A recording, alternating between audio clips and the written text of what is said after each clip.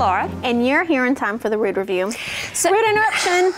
Seriously, Anny? I got like one word out. I had to get it out before the end of the year, you know.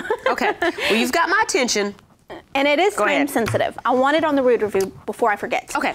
So today is December 27th, and that means you only have four days left in 2013. If you want to get any of your 2013 tax deductible gifts in time, you have four days to do it. Whoa. You know what? That makes me think I need to probably go home, take a look at my statements, my bank account, my books, and see if there's anything floating around that I need to do something with. And everyone here in the office knows my saying, and that is I much rather give it to the kingdom, to ministry, instead of the government. Yes, indeed a Rooney. Indeed, a Rooney. Indeed a Rooney. Did you just say indeed a Rooney? Indeed a Rooney I did. I feel like I need a dictionary. Anny, that's my word. That's a Lauraism. I have my own words. That's one of my words. Indeed a Rooney. Did you know that you can add a Rooney to any word and it fits? No, a Rooney. Okay, I take that back. Not any word. So tell me, what are Laura-isms? Lauraisms are my words that I made up. You want to hear some more?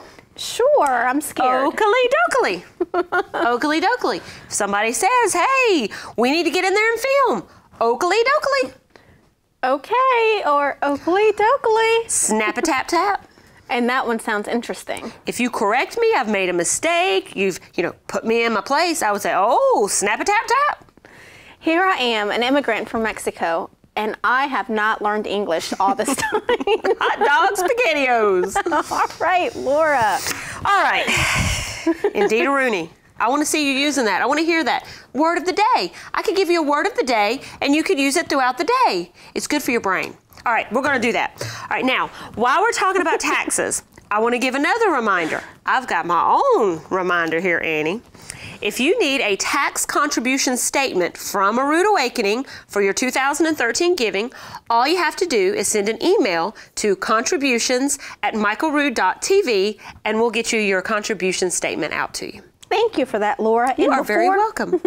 Before you sign off, I would like to give everyone a end of the year Bring It to the World update. Wonderful. Yes, we started the ambassador program in February of 2013, and it has a, been a blip. It has been a big blessing. It has been a blessing. I need my own dictionary too.